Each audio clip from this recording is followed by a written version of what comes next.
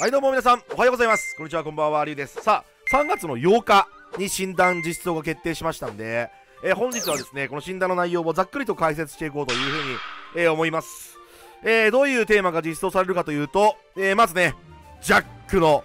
魂のデッキレッドデーモンこれめちゃくちゃ強いんですけど、まあ、これ実装されるというところと、あと自爆心ですね。えー、まあ、ゴドビン長官の、えー、魂のデッキ強化される。あとね、えっとね、テスティラっていうね、これマジで俺知らんかったんだけど、これ海外新規らしいですね。海外先行テーマで。今なんか、あの OCG にもないと思うんで、まあちょっとマスターデュエルと TCG 環境でしか使えないカードになってくると思うんですけども、テテティスティナ。これちょっと僕今から勉強します。えっと、あと、えっと、特産の新巨人。えー、と、それがまラビリンスに使われているよく、えトランザクションロールバックというカードが実装されますよというところで、まあ、主には、まあ、この辺はちょっと汎用カードになってくると思うんで、ワナビのね。なんで、まあ、テスティナ、えー、それからまあ自爆心、それからまあレッドデーモンあたりがまあテーマとして、えー、実装されるって感じになってくると思いますね。はい。早速ちょっとレッドデーモンから解説していきましょ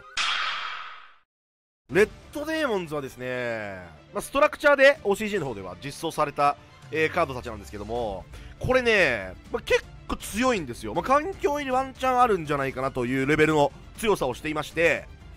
えー、診断で、えー、判明したカードはスカーレットデーモンっていうモンスターですね。はいえー、これは何するかっていうと、まあ、レッドデーモンズラゴンと、まあ、同じようなステータスを、えー、知ってましてですね、えー、チューナープラスチューナー以外の闇属性モンスター1体以上で作れるモンスターでございますと。で、このカードは、カード名がフィールドか墓地にいると、レッドデーモンズドラゴンとして扱いますということで、この1番の効果があることによって、レッドデーモンズドラゴン名称を指定する魔法トラップカードとか、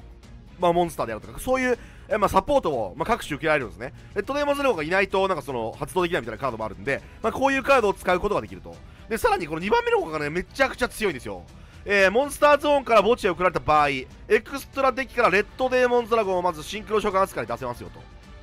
だから、シンクロストアにやってもいいし、まあ普通に戦闘で破壊されてもいいし、まあ何でもいいんだけど、墓地を送られたら、えー、レッドデモンズドラゴンが出てくると。で、しかも蘇生制限満たしていると。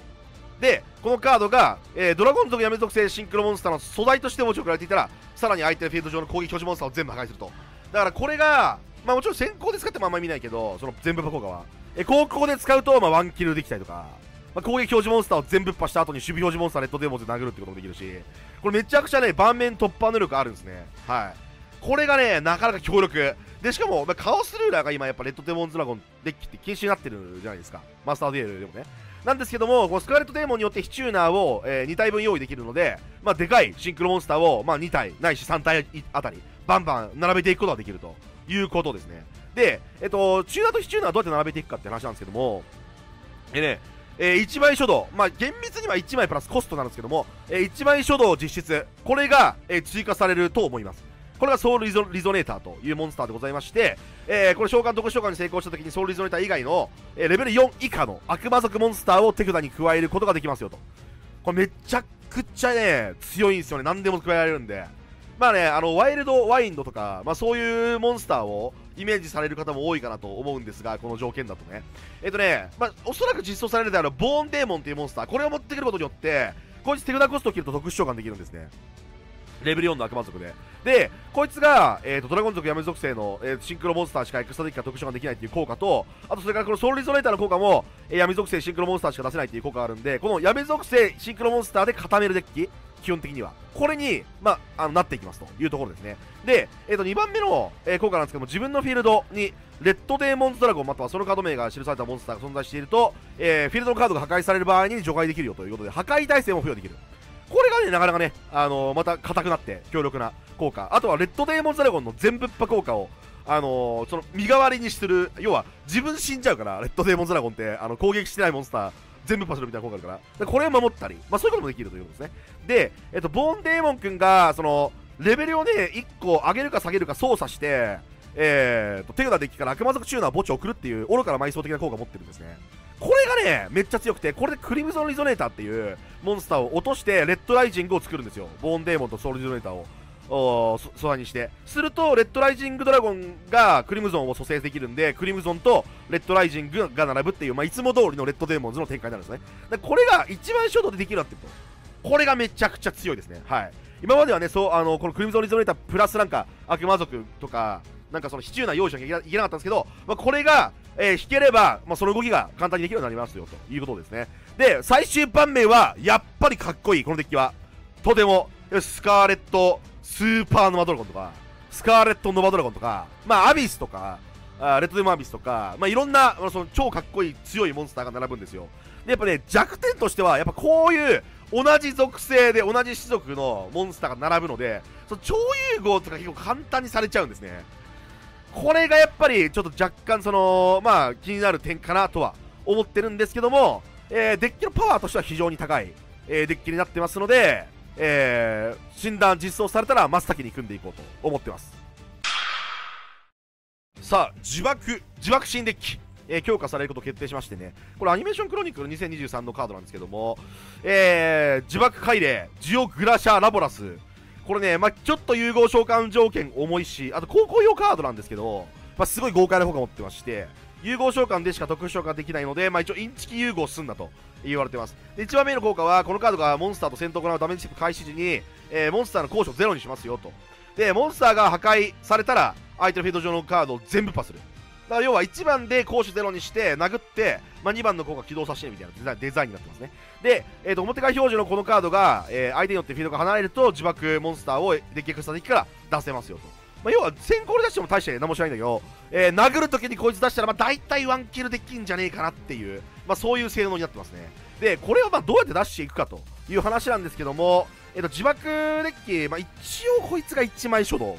みたいな感じかな。まあ厳密に言うとちょっと、これプラスコス、あの、非チューナー側が用意できないとあんまり強い場面なんだけど、えこのカードが召喚特殊召喚した場合え、グランドキーパーを除くレベル5以下の地縛モンスターをデッキエクストラあデッキ墓地から特殊召喚しますよ。この効果の発動後、ターン終了時まで自分は融合シンクロモンスターしかエクストラデッキから出せませんよという縛りが入っちゃいますよと。まあ、要は融合シンクロ縛りつく代わりに、なんかいろんなことが、強いことができるよみたいな感じですね。だからリンクとかで伸ばしていく展開をことはできないと。でレベル5以下の地縛モンスター1体をデッキ墓地から特殊召喚するって書いてあるじゃないですか。だからねこれねめっちゃ強いのは要は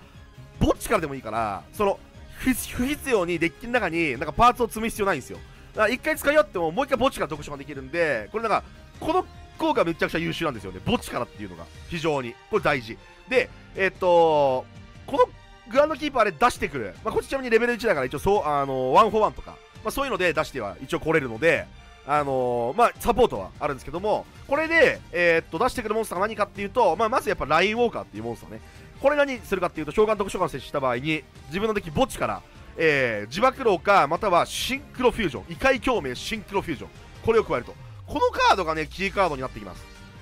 はい、地縛デッキは。で、このシンクロフュージョンは何かっていうと、えっとね、融合とシンクロを両方できるっていうカードなんですよ。これ1枚で。えー、テキストね、1ターン1枚しか発動できないんですけども、えー、あ、また同じ縛り入ります。で、えー、自分のフィールドの表側表示のチューナーとチューナー以外のモンスターを1体ずつ墓地送ると、えっ、ー、と、シンクロモンスターと、えー、融合モンスターをどっちも出せますと。このカードで。だから、融合しながらシンクロするみたいな感じですね。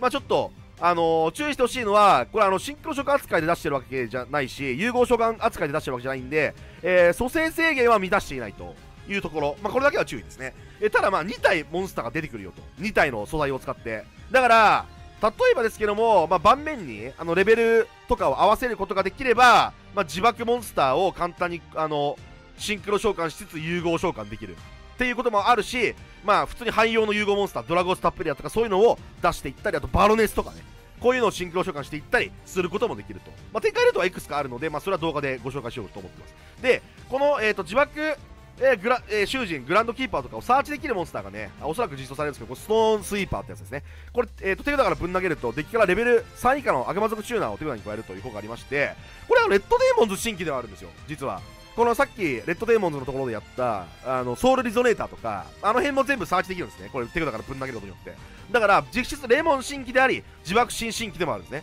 はい。で一応フィールドゾーンにカードがあると手札が特殊ができるっていう特殊効を持ってるんで、まあ、これは安定の3積みという感じ。これでなんかそのこの辺のモンスター持ってきて、で、まあ、特殊召喚して異界共鳴打っていくみたいな感じで展開していきます。で、えっ、ー、とね、自爆モンスターね、一応最終盤面結構いろいろあるんだけど、まあ、一応自爆モンスターだけで言うと、えー、自爆海霊ジオグリフォンっていうモンスターが自分相手ターンに、えーと、自爆モンスターを特殊召喚できるっていう、まあ、すげえ強い効果を持ってたりとかあとこの、えー、自爆海霊ジオクラーケンっていうねこの、えーと、クラゲ、えー、違うイカかこれ、えー、イカが、えーと、デッキ墓地からフィールド魔法カードを何でも手札に加えるっていう効果あって、まあ、これでなんかその悪いことしたりいろんな魔法、えー、カード持ってこれるからフィールド魔法。まあ、いろんな悪いことをしたり、あと、これ、こいつも妨害持って、こいつが妨害持ってて、エクストラ敵からモンスター特殊召喚されたら、えー、このターンに特殊召喚された相手フィールド上のモンスター全部破壊しますということがありますんで、一応これが一応妨害になってるかなっていう感じですね。まあ、過信は禁物ですけどね。で、えっ、ー、とね、自爆心はどうなのかと。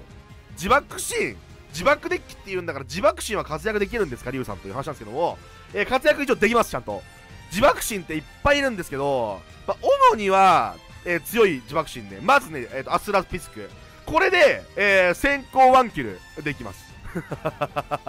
自爆デッキ。これで先行ワンキルできるし、あともう1体最強モンスター、えー、自爆心着地あるわ。これで、バトルスフェイズスキップがありますので、これでターンスキップ、これできます。はい。なんで、えっ、と、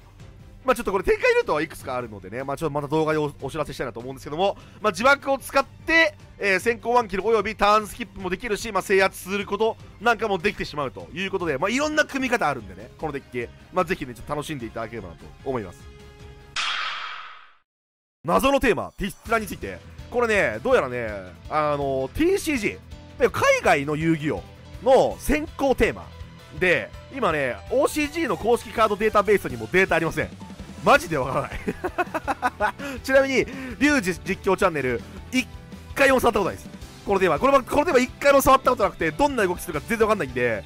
えっ、ー、と、まあちょっとざっと調べてきた情報しかお伝えできないんですけども、えっ、ー、とね、裏側守備表示に、あのモンスターを変えて、で、それでなんか、あの裏側守備表示のモンスター墓地を食ったり、ダイレクトタックをしたりして、まあ、戦うみたいな。誰まかるま的な誰まかるまとか月の書とか、あのあの辺の効果が結構内蔵されてるモンスターがいてそういう効果をまあ駆使して戦っていくっていうテーマっぽいで、えーと、テスナ虫歯も光るテスナは何するかっていうと、えー、レベル 10×2 で作れるモンスターでこの方特殊召喚に成功したら相手のフィールドの裏側表示カードを全部、えー、墓地を送るとだからまあ魔法トラップも含まれるんだけど、えー、モンスターだったら1回裏にしといてそいつらを墓地を送るみたいな効果ですね。これで除去していくと。でこのカードが、えー、決勝進ティスナを素材としている場合は1ターンに一度このカードの素材を1個取り除いてこのカードの攻撃力を相手端子のまで2000アップしますよ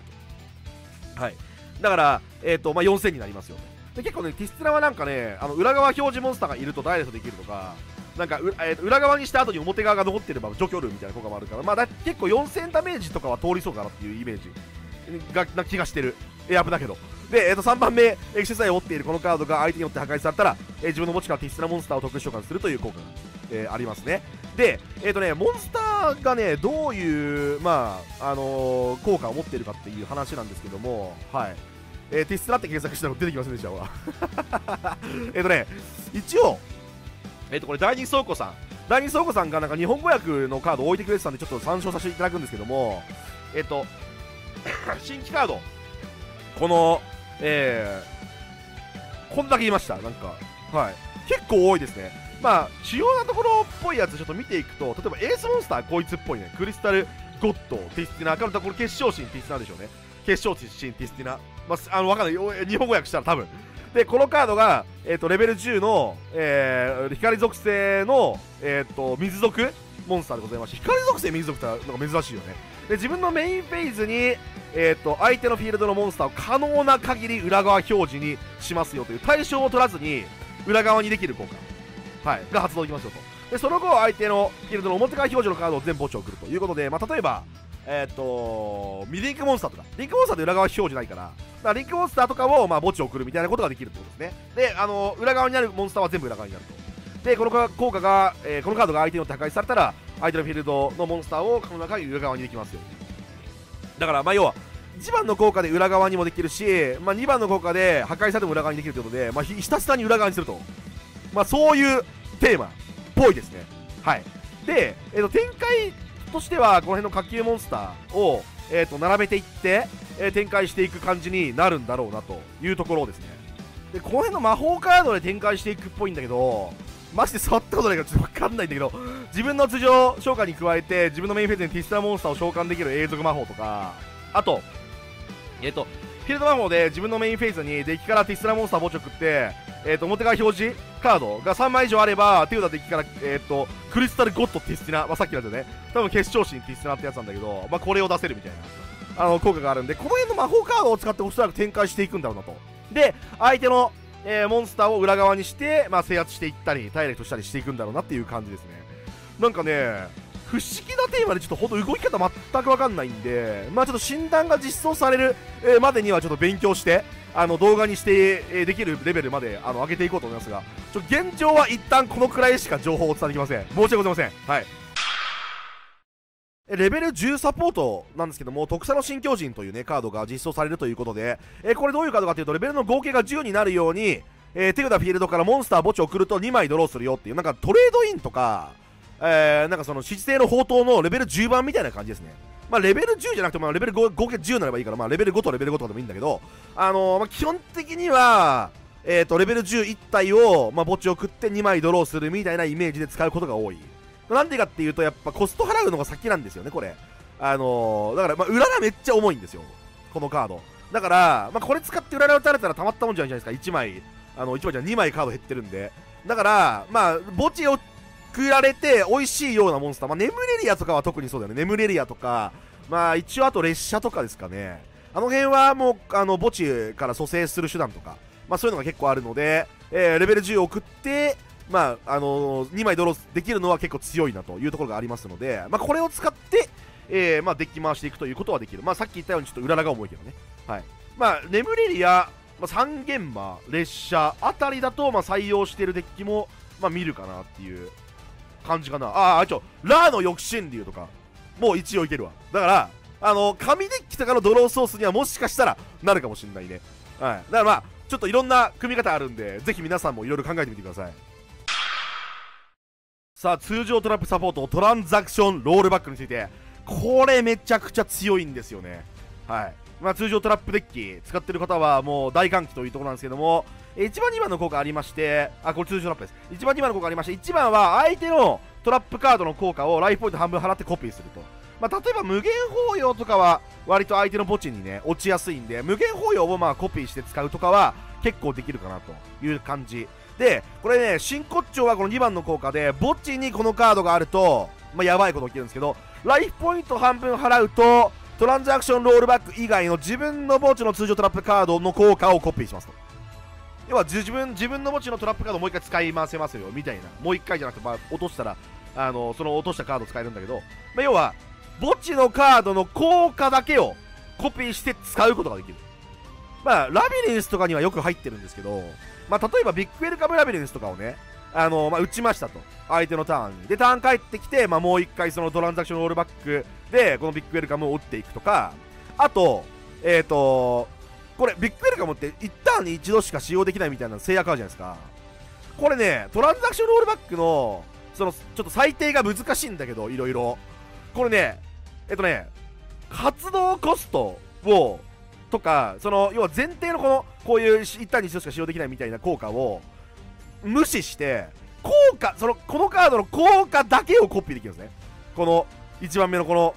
えっ、ー、とこれこれこれだけコピーするっていうことができるんですよ。ちょっとねなんかそのタイミングはなんか無視できないとかなんかねいろいろね最低が難しいところはあるんだけど基本的には発動コストみたいなのは全部無視できるからそのこういう、えーと、制約みたいなのも結構無視できて、えー、ビッグウェルカムラビリンスを1ターンに2回打つみたいなことができるんですよ。トランザクションロールバックって。だから例えばさビッグウェルカムにうららが打たれましたと。止まりますよね。あの出てこないからラビリンスモンスターが。なんだけどえー、墓地にトランザクションロールバックを落とせば、まあ、ビッグウェルカムをもう一回打ってビッグウェルカムを2回発動するから、まあ、うらら貫通みたいな。こともできるしあとねこれねラビリンスだけじゃなくてそのいろんな通常トラップあのコピーできるから、まあ、次元障壁とかもコピーできると思うしまあ、タイミングさえあの合ってれば拮抗勝負とかもコピーできるんだけどやっぱねクソカードみたいなのもコピーできるんだよね。例えばまあ、あの史上最強のクソカードと言われているこの通常トラップカード、えー、桜花妖霊炭まやかしらの言い方りっていうカードね。これコストが結構重いんですけど、えー、コストねまずえー、一旦一度どっちかしか使用できない、えー、自分のフィールドのまやかしシンクロリンクモンスターか知らぬシンクロモンスターをリリースして発動。ここまでがコスト。だからこれは無視できるんですよ。トランザクションロールバック。トランザクションロールバックこの条件ここ無視してこのコスコスト無視して発動できます。効果だけコピーします。効果なんですかと。このターンお互いに手札で1草引きからモンスター特殊はできない。これをねこれここだけコピーしたりするんですよ。キモいでしょ？キモくないですか？こういうことができるんですね。まあ通常トラップからだったら本当何でもコピーできるんでまあ皆さんも面白い通常トラップをちょっと見つけてねコピーして使っていただければと思うんですけどもこういうクソムーブもできるんでマジであの楽しいことができます。はい。でえっとあのこの、まあ、ギミックと相性がいいモンスターが、まあ、永遠の宿女ベアトリーチェってやつがいてベアトリーチェって自分と相手のターンに1枚ずつカード墓地をくれるからベアトリーチェでコピーしたいトラップとトランザクションロールバックを落とすといきなりもう、あのー、相手のターンのドローフェイズで揃うんですよ。条件が発動できる。これがねマジキモいです結構。はい。まあ褒め言葉なんだけどキモいっていうのは。これ結構ね面白いのでね、まあ、あとライトロードドミニオンキルスとかでもいいと思うけど。まあ、やっぱ一番相性がいいのはちなみにそのトランザクションロールバック引いてもコストで切れる家具でコストとして切れるえー、っとラビリンスだったりすると思うんですけどもえー、このえー、いろんなゴミカスコンボもできますので、ぜひね、クソリッカーの皆さんは、あの、いろんなデッキ組んで頼みしてみていただければなと、はい、思います。いかがでしたでしょうか、ま個人的にもやっぱ一番楽しみなのはレッドデーモンズと自爆シーンかなと思いますけども、マジで、あの、ティッスラマジわかんないんで、ちょっと勉強しておきます。はい。では、また次の動画でお会いしましょう。チャンネル登録、グッドボタン押してお待ちください。じゃあね。